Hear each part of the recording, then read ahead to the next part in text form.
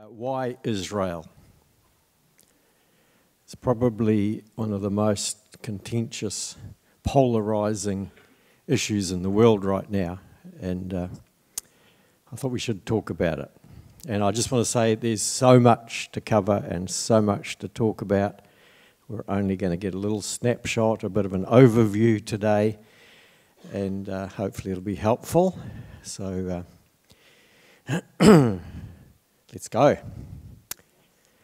Lately, as you know, every day, Israel is in the news, many times a day. On every news channel, doesn't matter which one you go to, there's always something about what's happening in Gaza. The Israeli assault on Gaza has been going on now for almost seven months, since the 8th of October.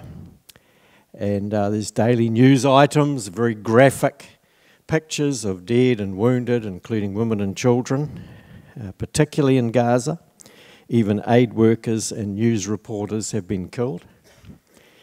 Hospitals, schools, and mosques have been bombed. And so far, apparently, approximately 34,000 people have been killed in Gaza over the last seven months, and it's not over yet. Now, we've got a map uh, we'll put up there of uh, the land of Israel, which shows Gaza. Now, you see that map there, which shows Israel. Gaza is that little strip of land along the Mediterranean coast there. It's 41 kilometres long, 6 to 12 kilometres wide, and uh, a total area of 365 kilometres, square kilometres. Uh, that's the area in that little bit of the corner of the map there. And over 2 million people live there. One of the most densely populated areas on earth. Over the past six to seven months, Israel's uh, military operation uh, bombing that little strip of land has been ongoing. And so have the protests all around the world, as we know and uh, most recently, even in the American universities, and there's been riots and all sorts of stuff. Uh, here in New Zealand, there's been protests as well, and there's been ongoing United Nations resolutions condemning Israel, and it really seems like the whole world is upset about what's happening here. And um, when you stop to think about it, Surely anyone with any care or compassion for those innocent people caught up in this should be concerned. And we should be concerned. I mean, there's no question about that because, um, you know, there are innocent people dying every day. And there's, there's uh, the Palestinian people that live in Gaza, there's quite a number of Christian people, there's all sorts of different uh, people that live there. And so, uh, as well as praying for Israel, as we have done and will continue to do, uh, we also need to pray for and remember the innocent people, the innocent victims on all sides, but including those in Gaza right now, because they're, they're really under the pump. There's no question about it.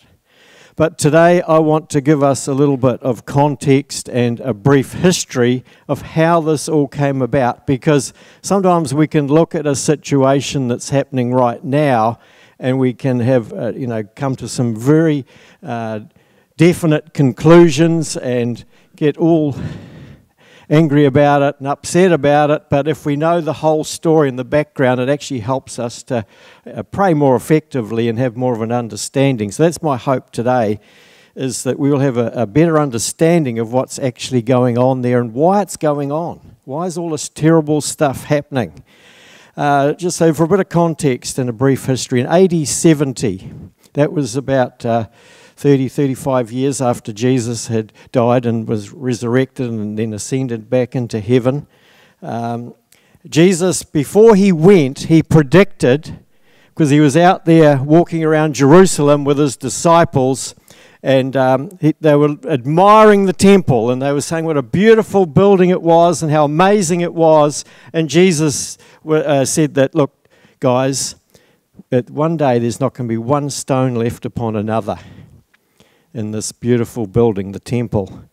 And uh, in AD 70, the Romans went through and they destroyed Jerusalem, including the temple. And Jesus' pr- prophecy about the temple was literally fulfilled. There's only the foundations left the Western Wall and the, the big uh, foundation there, the Temple Mount is still there. It's interesting, there's a Muslim mosque on the top of it. But uh, the nation of Israel at that point ceased to exist. And the Jew, Jewish people were scattered all over the world.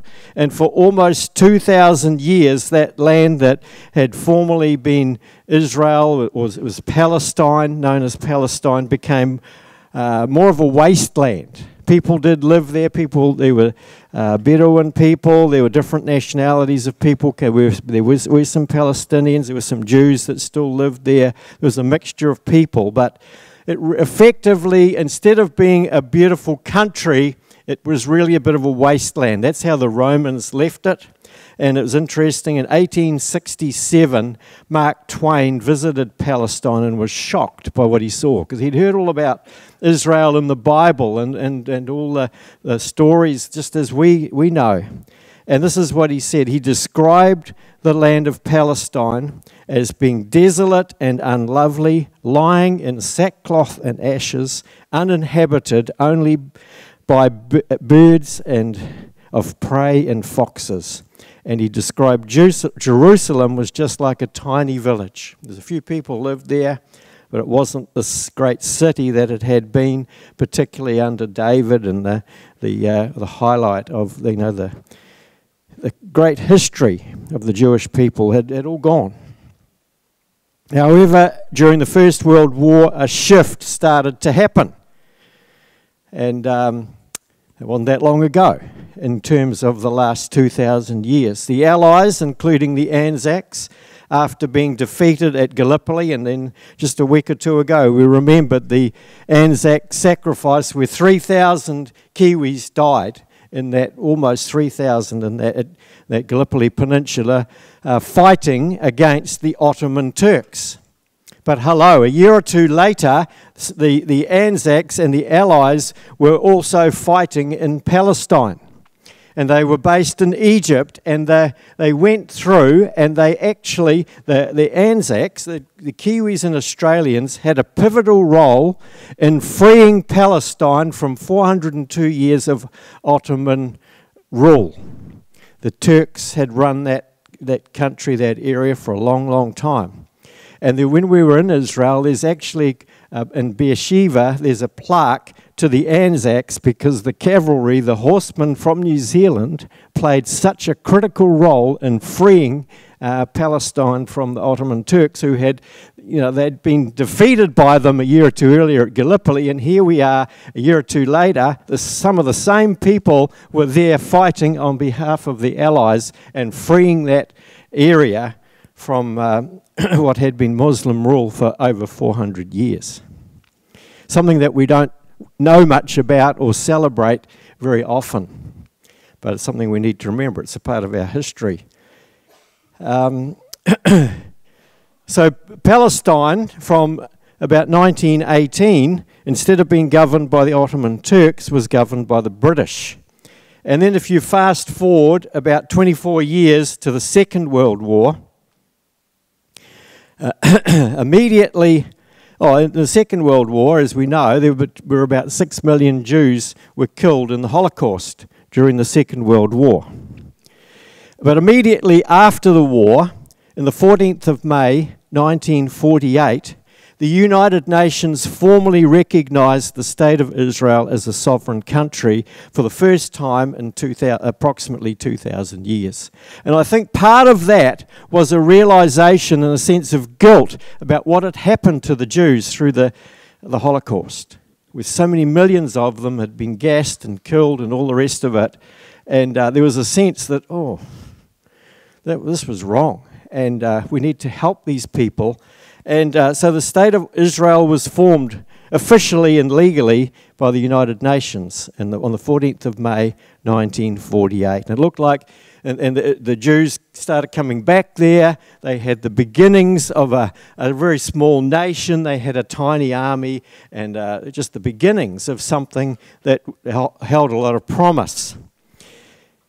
However, we'll look at map two uh, in the Middle East.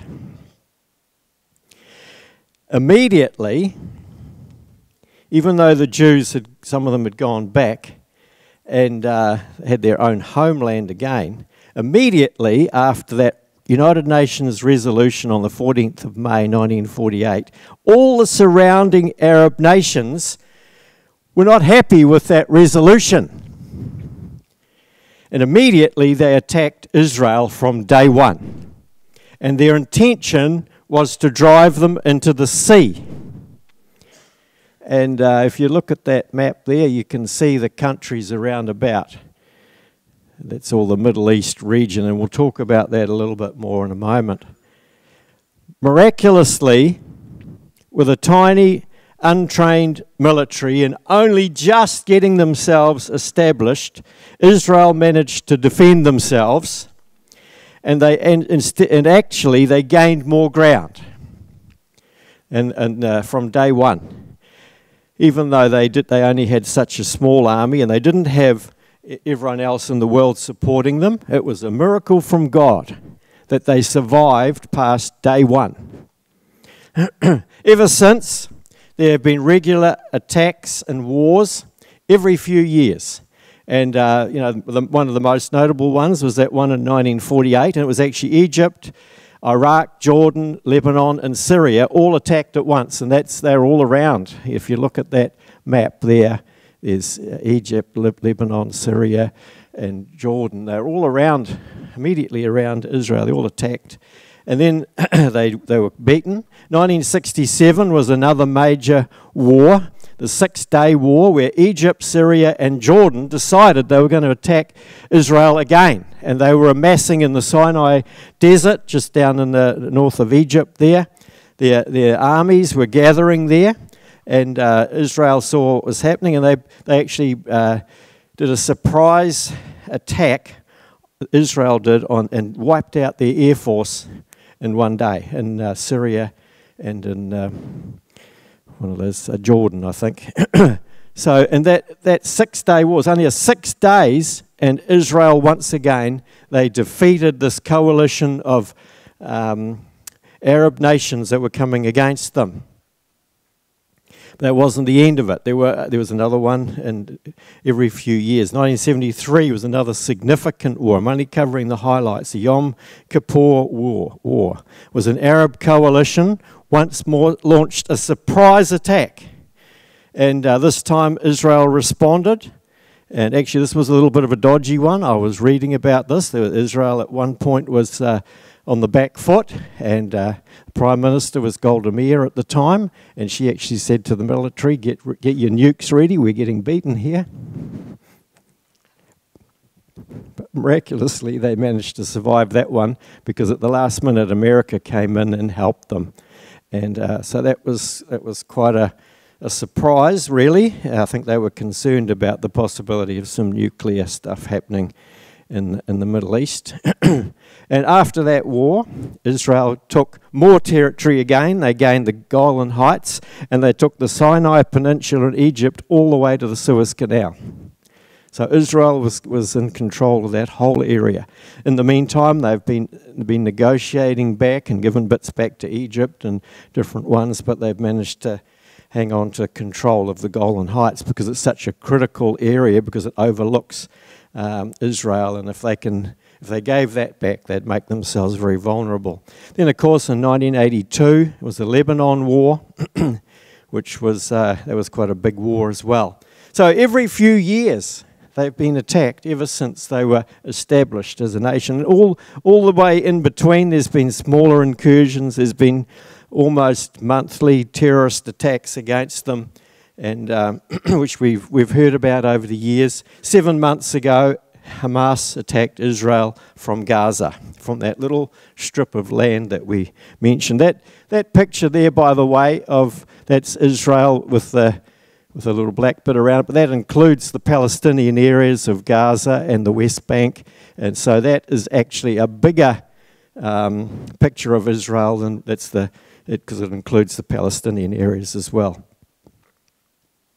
Anyway, on, earlier on the morning of the 7th of October last year, Hamas fired between 2,500 and 3,000 rockets at Israel. The Hamas militants, this was the background to what's happening right now. Hamas militants broke through and they attacked and killed 1,163 Israelis, mostly civilians, including 38 children. And they took 253 hostages back into Gaza. This was obviously was a well-planned surprise attack. Israel was completely caught out by this, and uh, early in the war, Israel estimated that underneath um, the area of Gaza there was about 300 kilometres of tunnels. That's what they thought was there. But since uh, as the war has progressed, they now estimate that there are over 500 kilometres of tunnels that have been dug under that little wee narrow strip of land underneath Gaza. So, really, what they have built there is an underground military stronghold underneath that area. If you think about, just briefly, let's just think about the work involved in doing what they've done there. They, they dug, not only did they dig, dig all those tunnels and areas, they had to be reinforced with concrete, which meant truckloads, thousands of truckloads of concrete have gone into those tunnels and steel reinforcing. And uh, they've also had to install ventilation shafts because they have to be able to breathe under there, you know, for 500 kilometres. And then they also would have had to have lights and, and places. There was years of work that went on there. If you start to think about the years and, and the effort and the expense that's gone into building that uh, underground military stronghold, um, it makes you realize that these guys have been planning something for a while. On top of that, they have amassed thousands of rockets through the period, uh, there's about a 10 year period there. They estimate that uh, Gaza has, has fired over 20,000 rockets towards Israel and 3,000, two and a half, 3,000 just on that 7th of October last year. And they, to fire rockets, they need rocket launchers, and often those rocket launchers have been set up in public spaces. And I guess you could say it's so crowded they haven't got much choice, but they don't have to put them in hospitals, schools, and mosques, which they have done. Clearly, there's been a, a well planned, well thought through operation that's been happening there before the surprise attack happened on the 7th of October. Just how many Hamas militants there are, nobody quite knows. Uh, because they're hiding underground and they're also living and operating amongst the civilian population. Israel estimated 30,000 Hamas militants, the CIA estimates 40,000. But it's not, we need to understand it's not just Hamas that's been attacking Israel. We've got another map there um, which shows this, these are the, the people that have been attacking Israel specifically since the 7th of October. We have Hamas there, that little arrow on the left. We have Hezbollah uh, in the north, that's coming from Lebanon. We also have the Houthis down here in Yemen, and they have, they have uh, been primarily attacking the shipping that goes through the Red Sea, but they've also been, uh, they've got some long range rockets, they've also been firing some at Israel as well. And actually, just as a side note, with the, uh, with the Houthis down there, uh, John Blewett tells me that we're paying, uh, us dairy farmers pay, are getting 20 cents a kilo less for our milk because all the shipping, has, instead of going through the Red Sea, has to go way around the south, uh, southern Africa. So it's costing the whole world, actually, what's happening there.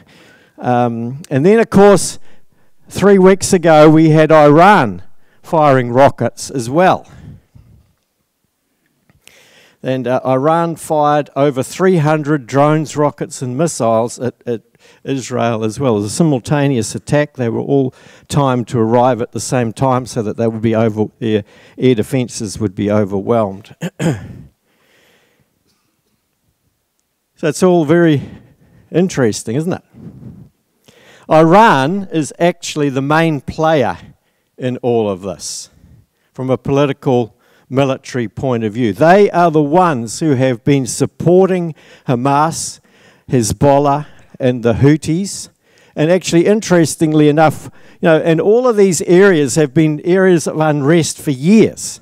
The Houthis, in fact, down in Yemen, um, there's been 4 million people displaced because of these uh, Houthis operating down there, trying to take over. And there's been 160,000 people killed over the last 10 years or so, but hardly anyone really seems to worry about it too much. And it's been the similar in Lebanon. I mean, we know what's been happening in Iraq. We also know what's hap- been happening in Syria. The Kurdish people have been, uh, you know, they've been attacked under attack for years. And so there's all this unrest over the whole of the Middle East. And part of the problem is because there's two branches of Islam. There's the Shia Muslims, which is Iran, and they are the ones that are supporting these terrorist groups. And then there's the Sunni or Sunni Muslim. That, uh, and so they don't quite get along, although they pretty much believe the same thing. And then, of course, there's little old Israel stuck in the middle. the other thing about Iran being the main player in this. Is, I, I believe there's one bigger player in this that we're going to talk about shortly, but Iran has been working to develop nuclear weapons now for years. It's been in the news all the way through, and the, the uh, International Atomic Agency have been watching, they've been checking, they've been, and they have come out and said that they believe that Iran could could manufacture nuclear missiles, warheads, within a few days. They're at that stage right now. If they chose to, they could, uh, they could get all these nuclear missiles and they could potentially arm these militants, and who knows what would happen from there in a matter of days. So I think we need to understand this whole thing is not over yet. And then the big question will Israel invade Rafah as well, where there's all these people sheltering and uh, vulnerable. And the Hamas militants are hiding under there and they want to get them and, and, and do away with them, but there's all the civilian population living over the top of them and amongst them. So it's a tricky situation. The other one, have you heard chants at protests where they say, From the river to the sea, Palestine will be free? Have you heard that? What does that mean? What that means is from the Jordan River to the Mediterranean Sea, there will no longer be any more Jews. What they're saying is that, they want to wipe out the nation of Israel.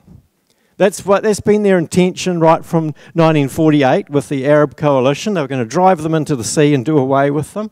And uh, so we need to understand that there's a real hatred and a determination amongst the, the Arab nations, and particularly the, the Palestinians as well, to destroy Israel.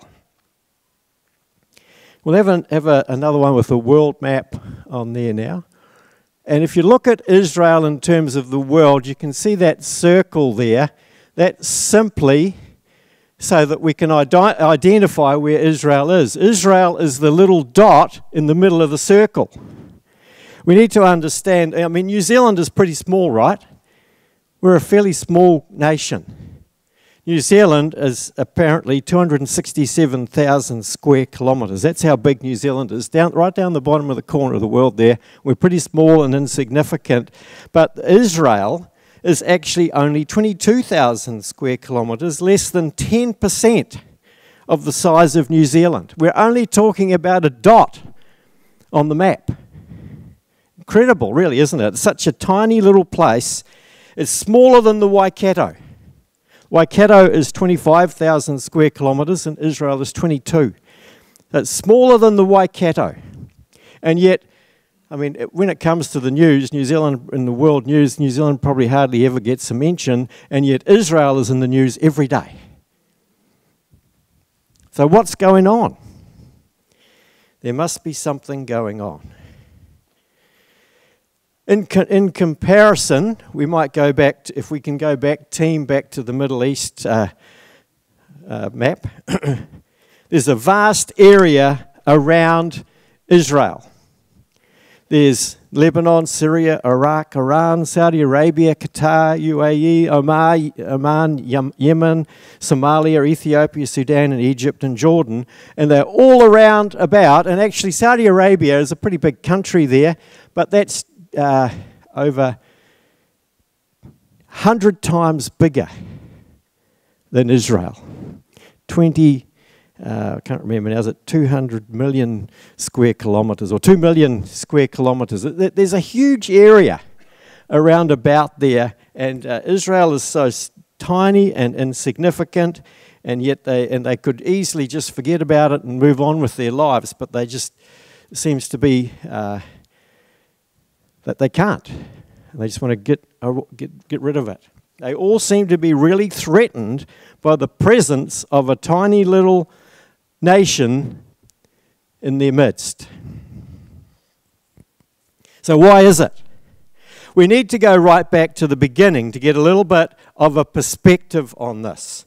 right back in the beginning, where, where God hinted at his plan to restore the relationship that had been lost because of Adam and Eve's sin right back to the garden. Genesis 3, verse 15 God said to the serpent, the devil who had tricked Eve and, and Adam, regarding the seed of the woman, the offspring of Eve, He said, He will crush your head and you will strike his heel. From then on, I think the devil has been looking out for the he, the mystery who is going to squ- crush his head. I mean, if, if God said to any one of us that someone's going to come along that's going to crush our head, you'd be a little bit concerned, wouldn't you? I mean, no one wants to have their head crushed. And uh, I think that's been the beginning of all of this. And a couple of thousand years went by and nothing much, and the devil was watching and looking and trying to figure out who, what was going to come and how he was going to get his head crushed, and nothing much happened. And, um, you know, we, I think we're always in a rush, but God is never in a rush. He waited 2,000 years. And then he, he looked and he said, there's, I think there's a man I can trust with the plan. And his name, name was Abram. Genesis chapter 12, verse 2. This is what God said to Abram, by the way, was known as a man of faith and a man of trust, but he's also known as a friend of God. God had a friend that he could trust. That's what God's always looking for people that he can trust. And Abram wasn't perfect, he didn't get it all right, he made some bad mistakes, but he always trusted God. And he was always like a friend to God. And, and if, if God told him something, he believed it. This is what God said to him Abram, mate, I will make you into a great nation, and I will bless you, and I'll make your name great, and you will be a blessing. At this stage, Abram was getting on just him and Sarah, and they had no kids. And God was talking about a promise of a great nation to come from them. And we know the story. And of course, the problem was that they were almost past even having kids, one child, let alone a nation. So they decided to help God out a bit. And they had a son by Sarah's slave girl, Hagar. Back then, a slave was your property. So the boy Ishmael was their son. Right? That was their thinking. Wrong. When God said something, he meant what he said because he always does. And miraculously, when Sarah was 90 and Abraham was 100, Isaac was born. And as the two boys grew, Ishmael and Isaac, there was jealousy and rivalry between the two mothers, between Hagar and Sarah. And later, that jealousy and rivalry transferred down to the two, two boys, Ishmael and Isaac. And it was never dealt with.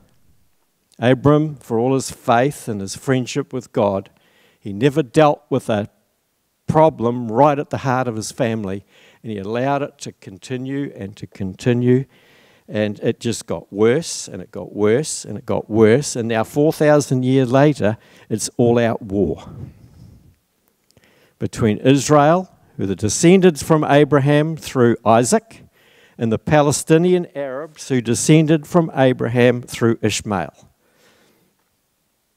On both sides, they claim to be descendants of Abraham.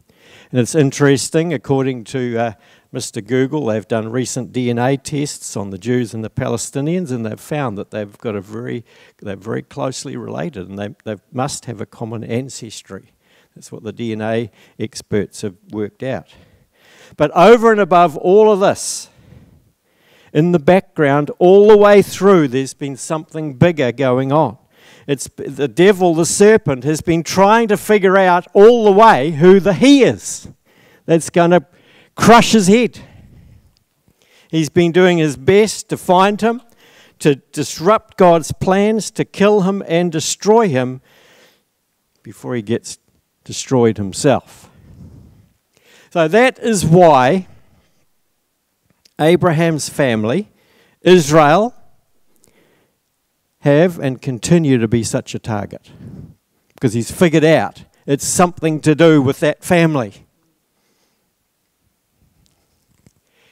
And God's plan of redemption and bringing back everything as it was and should be involves crushing the serpent's head. and that's why Israel is at the center of all this. So, what should our relationship with Israel be today? The Apostle Paul, we could, we could, uh, like I said, I could talk about this for hours, but I'm going to quickly go through this. Apostle Paul summed it up like this Romans chapter 9, verses 4 and 5. The people of Israel. He's talking about the Jews, the people that lived in the land, the people that are back in the land. Theirs is the adoption to sonship. They were sons and daughters of Abram. There's the divine glory, the covenants. The covenants are the promises. All the promises in the Word of God were originally given to them about the future, the receiving of the law, which was through Moses, the temple worship. You know, David had on his heart to build a temple, it was Solomon that built the first one.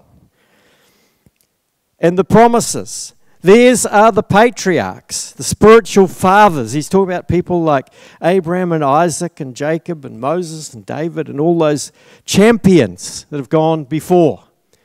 They belong to the, the Jewish Abraham's family.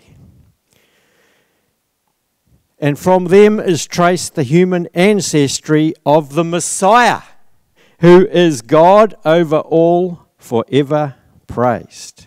God's Son Jesus, our Lord and Saviour, was born a Jew.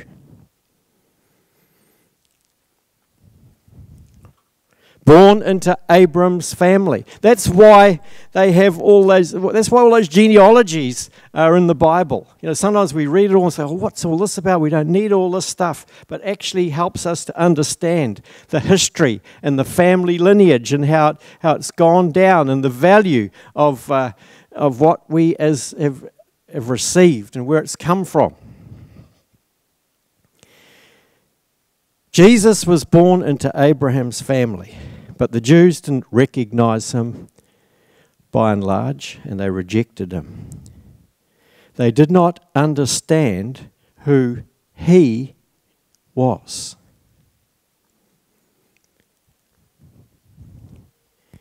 Romans chapter 11, verses 11 and 12 the Apostle Paul goes on talking, and there's all these chapters of 9, 10, 11, 12. It's all where Paul is discussing with the Roman in his Romans in his letter about the place of Israel, the value of them in history, and their struggles that they've had, and uh, and why we should stand with them. And this is what he says: Again, I ask, did they stumble? That's the Jews, so as to fall beyond recovery? Not at all. Rather, because of their transgression, salvation has come to the Gentiles, which is us, to make Israel envious. God still wants his people to love him and understand who their Messiah really is. And we're prospering and blessed as the Word of God says, actually cause them to think, oh, maybe we're missing out.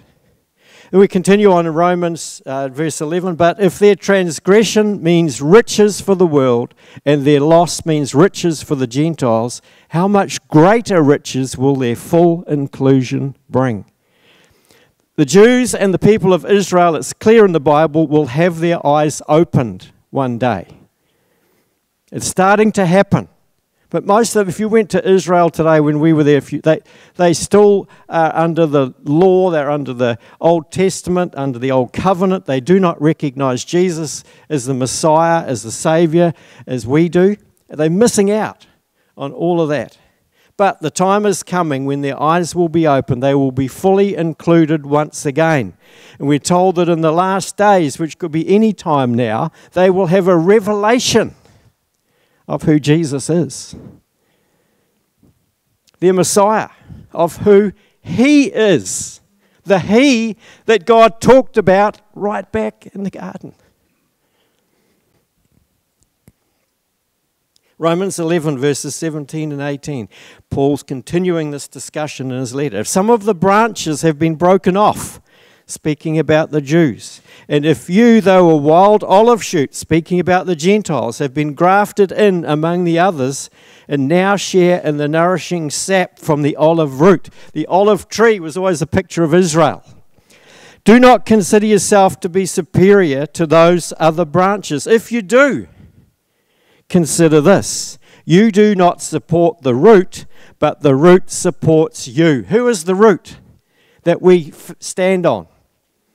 It's the people of Israel. It's the, it's the Bible. It's the Word of God. It's, it's all the history and the promises in Jesus Himself. we have been blessed by Israel in so many ways. Even, and interestingly, even their unbelief and rejection of Jesus blessed us because it opened it up for anyone and everyone who wants to receive salvation, like what. Um, um, Kathy was talking about in communion this morning. As believers in Jesus, we are adopted into Abraham's family. We are grafted in to the family. The Jews, that, that means the Jew, Jewish people are our brothers and sisters, right? If you're adopted into a family, they become part of your whānau. They are brothers and sisters. They are natural family, and we're the adopted ones. And as family, you know, as we know, we don't always agree on everything, but you know, when the chips are down, we should stick up for each other, shouldn't we? I mean, the Jews and the Palestinians are actually family as well. But that's what's, what's happened. That rift has caused such a hatred and division. And, and as family, we need to, as God's family, we need to do better than the Palestinians have done. We need to realize the blessings that we've received through them and stick together with them in their time of need. Genesis 12, verse 3 God said to Abraham, I will bless those who bless you, and whoever curses you, I will curse. That's a promise that has never been retracted. Abraham's family. If we bless them, we will be blessed. And if we curse them, we will be cursed. I don't know about you guys, but I want God's blessing. Life can be tough enough. But imagine if we've got God against us. We need God for us, not against us. Psalm of David, Psalm 122, verse 6. Pray for the peace of Jerusalem. May those who love you be secure. May there be peace within your walls and security within your citadels. For the sake of my family and friends, I will say, Peace be within you. For the sake of the house of the Lord your God, I will seek your prosperity. And I want to say that God's people, the church, have not always been supportive of Jerusalem, the Jews, or Israel through the centuries. There's been a whole lot of talk around replacement theology. Which you know we're probably not even aware what that means, but it really means that uh, the Christian believers have replaced Israel and God's done away with them. They've got no future in His plans at all. It's now it's all about us and the church, which is not true. And I think people started to think like that because they, they knew the prophecies about Israel in the Bible, but they thought, oh, it hasn't happened. You know, a few hundred years have gone by, a couple of thousand years almost, and they started to think, oh, it's not going to happen, so really it must be us now, it must be the church. But they were wrong. The idea that we have replaced Israel is wrong. It's clear in Romans that we are simply adopted in grafted in. And that's different to replacing them. And the church was largely silent through the Holocaust as well. When Nazi Germany and uh, people that were with them were gassing and murdering and killing six million Jews, the church didn't say much about it. And the church was strong in Europe.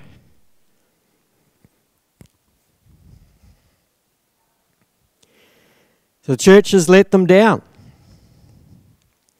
And now, as you and I, the church, today, see what is happening and getting nearer to the end, I want to suggest that we, we need to be on the right side of history with this.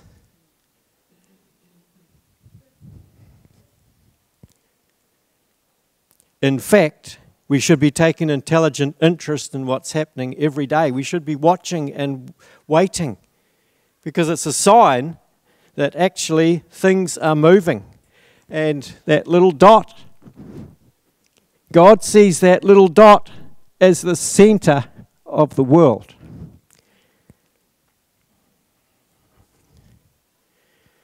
Israel being back in the land is an absolute miracle and a fulfillment of prophecy. After almost 2,000 years, a nation has been reborn. People have returned from all over the earth. A nation that has survived and is now largely flourishing against all odds. A national language, Hebrew, that had not been spoken for all those years 2,000 years. It's, now it's the national language, they speak it, and their culture is being revived. Israel, that tiny dot on the world map, is now in the news every day.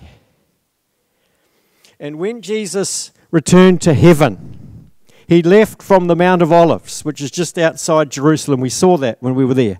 And, and he said that he will return to that exact same place in an, a very similar way. Physically, he's going to return. And literally, he's going to return, not some spiritual, figurative thing. And he will rule the world from Jerusalem. That's what the Word of God tells us. We've got a, I've got a map, a final map that I want to show you guys. That's it there. And let's think about that little dot of Israel and all the blessing that's come down through there. And those lines going out, they're not missiles going out like the ones coming in. They are the blessing of God going out from that nation. And, and the, uh, the church began in Jerusalem with the apostles in, in the day of Pentecost. And as was prophesied, they went from Jerusalem to Judea to Samaria to the ends of the earth, the uttermost parts of the earth. And we sit here today, right that little bit right down the bottom, because of what God has been doing through history in Israel. And when Jesus returns, he's going to return to there again and the whole world will be blessed with his government and the righteousness and the leadership that we're going to see. That there will be peace. And there's that bit that the United Nations, you know, swords will be, be beaten into plowshares and, and man will learn war no more. There's going to be peace coming for everybody and even the people that the Palestinians and the Arabs, and there's, there's prophecies that they're going to come to a, into a revelation of understanding who the He is as well. There's going to become a unity uh, right across the world when Jesus is revealed, and it's, it's to, some of it's going to happen sooner. I believe it's really it's a spiritual battle that's been going on for the last 4,000 years. And, and there's a, it's a spirit of antichrist that's actually at work coming against the plan of God. And we need to be careful that we're not feeding into that. We need to stand against it and we need to be praying intelligently. And, we, and of course, we support uh, innocent people that get caught up in it, that, uh, but that's not their own fault. So, anyway, that's what this is all about. It's about the He. Jesus is the one that this is all about. And um, the devil is very uncomfortable about the he. And so he's stirring up as much problems as he can. So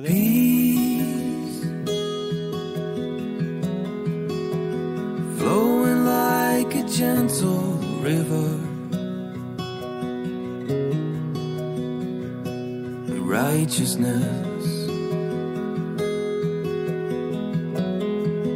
rolling over you like waves in the sea.